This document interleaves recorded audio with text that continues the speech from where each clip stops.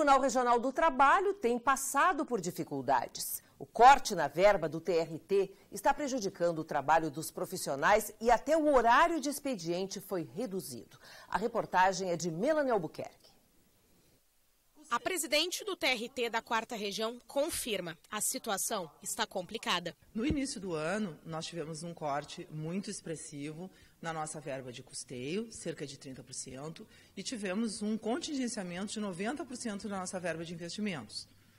Uh, a nossa situação ficou muito séria, nós fizemos uma série de economias. A verba é destinada para o pagamento do aluguel de prédios, contas de luz, água, diárias, bolsas de estagiários e também empresas terceirizadas de vigilância e limpeza.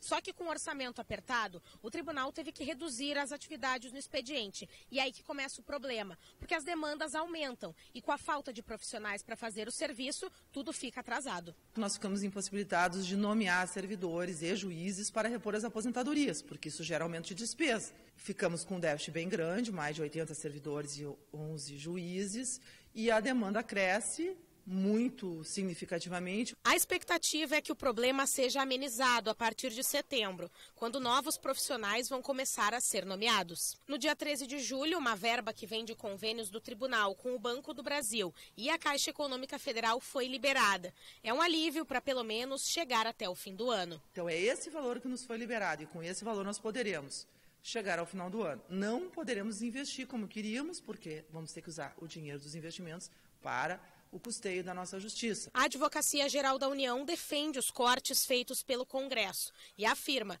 que toda a administração pública foi atingida.